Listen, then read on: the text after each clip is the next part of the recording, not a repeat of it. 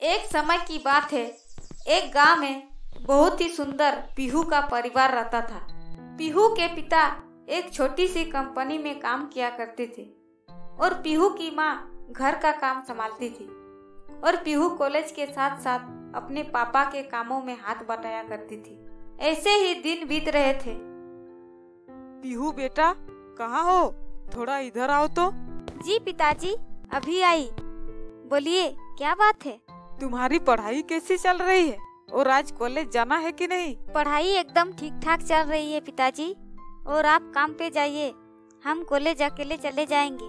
ठीक है मैं काम पे जा रहा हूँ। तुम अपने कॉलेज चली जाना। इतना बोल के पीहू के पिता अपने काम पे चले जाते हैं। और थोड़ी देर बाद पीहू भी कॉलेज चली जाती है। इसी तरह एक दूसरे के खुशी में परिवार चल रहा था। और फिर एक दिन पीहू की शादी हो जाती है। और पीहू अपने ससुराल चली जाती है जहाँ उसके साथ बहुत बुरा बर्ताव होता है। पीहू तुम मेरे साथ मेरे बेड में नहीं सो सकती। क्यों जी?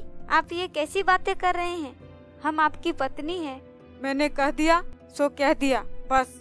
जीत की बात सुन के पीहू बहुत चिंतित रहने लगती है जिसके कारण घर के कामों में मन नहीं लगता है और घर के काम भी ठीक ठाक से नहीं होता है। काम ठीक से ना होने के कारण पीहू की सास हिना पीहू से नाराज़ रहने लगती है और सोचती है, इस लड़की से ढंग का कोई काम भी नहीं हो रहा है और मेरा बेटा भी इससे खुश नहीं है। इसका कुछ करना पड़ेगा। सासू जी, मैंने कपड़े धो के सूखने के लिए डाल दिए हैं और खाना टेबल पे लगा दिया है। आके सब खाना खा लीजिए। ठीक है ठीक है। अब तुम जाओ।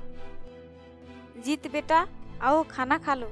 हिना फिर सबको खाने पे बुलाती है और सब खाना खाते हैं। बचा कुचा खाना पीहू को दे देते हैं जिसे देख पीहू को बहुत बुरा लगता है।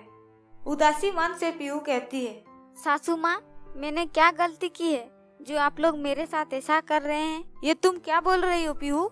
हम लोग क्या कर रहे हैं तुम्हारे साथ? हम लोग कर नहीं रहे तुम्हारे साथ ऐसा हो रहा है। आप ये क्या बोल रहे हैं सासू माँ? मुझे कुछ समझ में नहीं आ रहा है। अब इसका उपाय तुम्हें खुद करना पड़ेगा। इस तरह बोल, सब वहाँ से चले जाते हैं और जीत भी अपने काम पे चला जाता है। सारा काम खत्म करने के बाद पीहू भी अपने कमरे में चली जाती है और मन में कहती है, लगता है मेरे यहाँ होने से किसी को अच्छा नहीं लग रहा है। हमें ही कुछ करना पड़ेगा। तब जाके सबका दिल जीत पाऊँगी।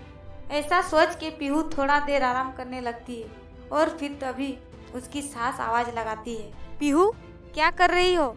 शाम होने वाली है। बर्तन सारे ऐसे ही पड़े हैं। धोना नहीं है क्या? जी माँ जी अभी सब हो जाएगा। पीहू अपने सास की हर बात सुनने लगी। सास जो कुछ भी काम करने को कहती, पीहू फटाफट सारा काम निपटा देती।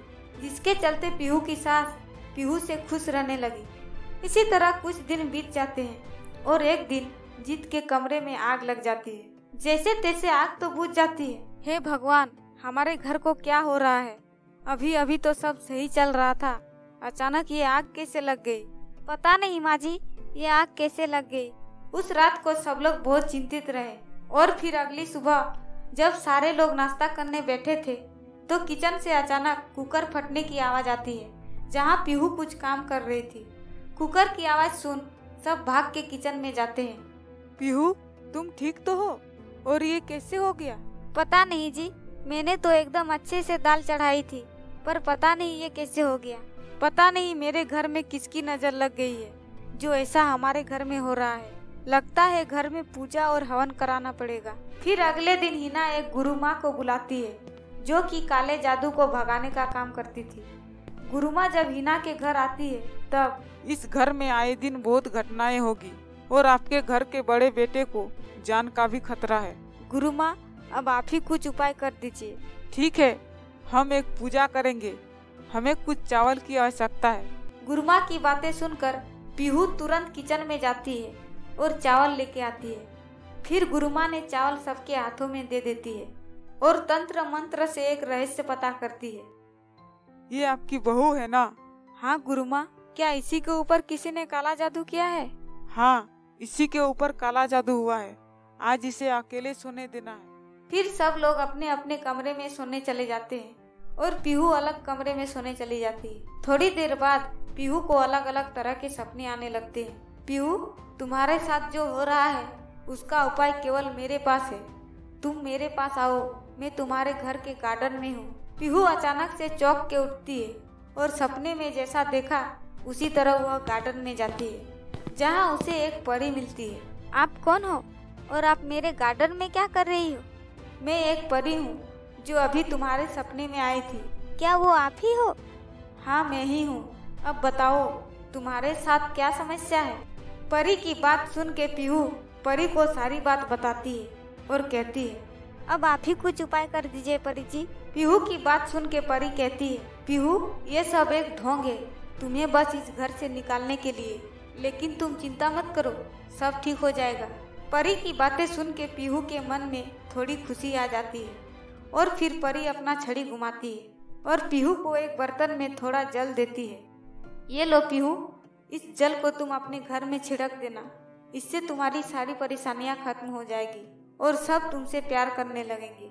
इतना कह के परी वहाँ से चली जाती है और परी की दी हुई पानी को लेकर पीहू अपने घर के अंदर चली जाती है। और जैसे परी ने कहा था, वैसे ही पीहू ने किया।